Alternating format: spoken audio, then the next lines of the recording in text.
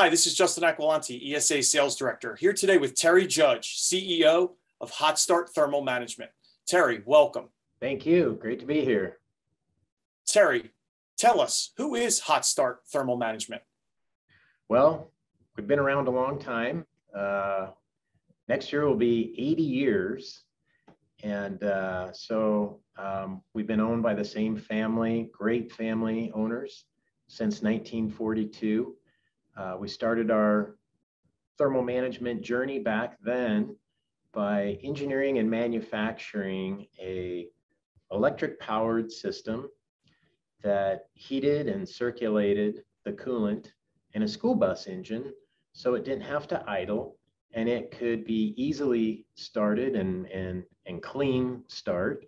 And so uh, fast forward to today and we're working with buses today that are powered by lithium ion batteries.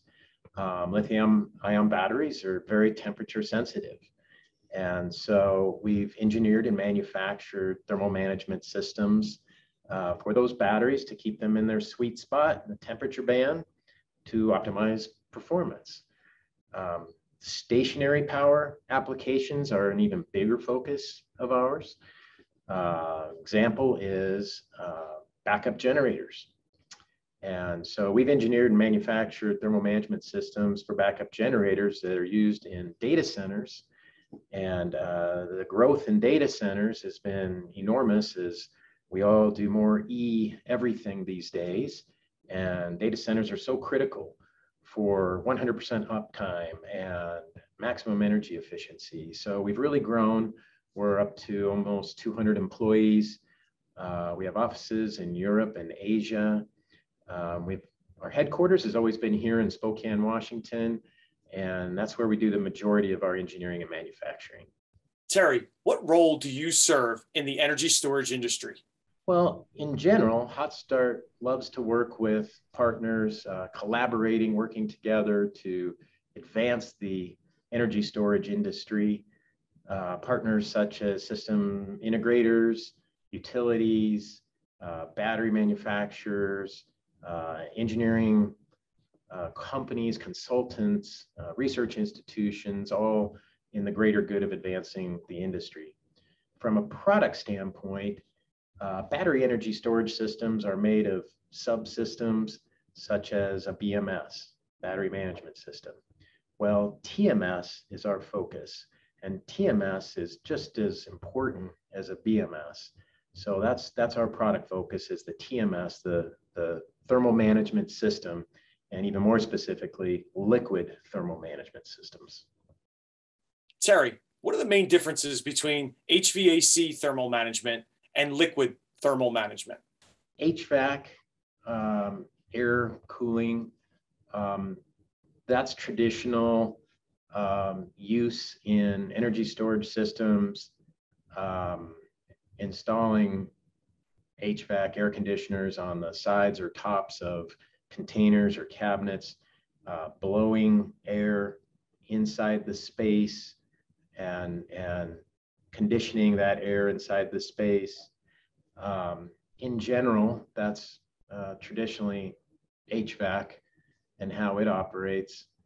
Uh, liquid thermal management is actually getting close up and personal with the batteries, the modules um, with heat transfer plates and liquid cooling that integrates to those plates to pull the heat out of the batteries and circulate a glycol mixture back to a liquid thermal management system that's keeping that liquid at, at just the right temperature and providing more uniform cell temperature and uh, lower parasitic load. Terry, if most systems are HVAC, why should customers specify liquid thermal management instead? So I think this would be fun to talk about with a couple of analogies and then the real application, energy storage.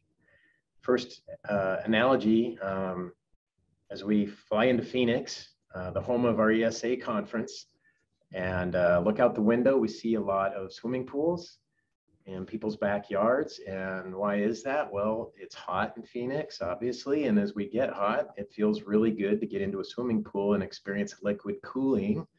uh, as opposed to being out in ambient temperature with just a fan blowing. So that's one fun analogy. Second analogy, um, EVs, electric vehicles.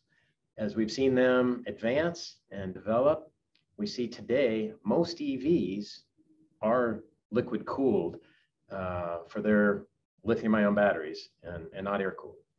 Um, that's pretty direct correlation with the energy storage application we talk about next, uh, because they also use lithium ion batteries and have similar uh, temperature thermal management uh, requirements. And so um, the industry is, is, is still using a lot of HVAC today because I don't think there's a lot of really good data out there and case studies to, to show the industry that liquid thermal management is better, but it's coming. And so um, there has been a third party uh, test lab do some side by side testing recently.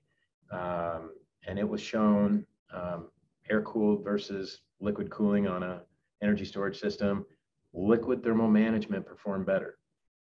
It provided more uniform cell temperature and less parasitic load. Less parasitic load is less power draw, uh, less money on that end, um, your operating costs, um, and then more uniform cell temperature, keeping those batteries, each one of them in their sweet spot, um, helps with uh, state of charge that the BMS doesn't need to derate the batteries. You can open up the capacity and allow more state of charge to be fully utilized on the batteries. Um, also, the batteries aren't degrading um, they're not getting outside that temperature band and degrading, which affects the life of the battery. So you're, you're getting longer battery life now. So I think as more of this data gets produced in the industry and, and there's more uh, knowledge, um, we'll see uh, an evolution of, of going from HVAC to uh, liquid thermal management. Terry, last question. Anything else you'd like to share with our viewers?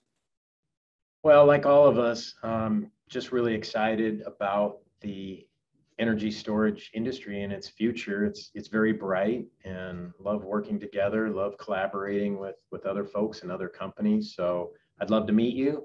Please stop by our booth at the ESA show and uh, see our system, our liquid thermal management system, speak with our engineers, and uh, let's see if we can advance the energy storage industry together. Terry, thanks for joining me here today. I want to recap a couple key takeaways that we heard during this interview. Number one, fascinating history of a family owned business since 1942 and still growing. Number two, very unique product focused on liquid thermal management versus traditional HVAC systems.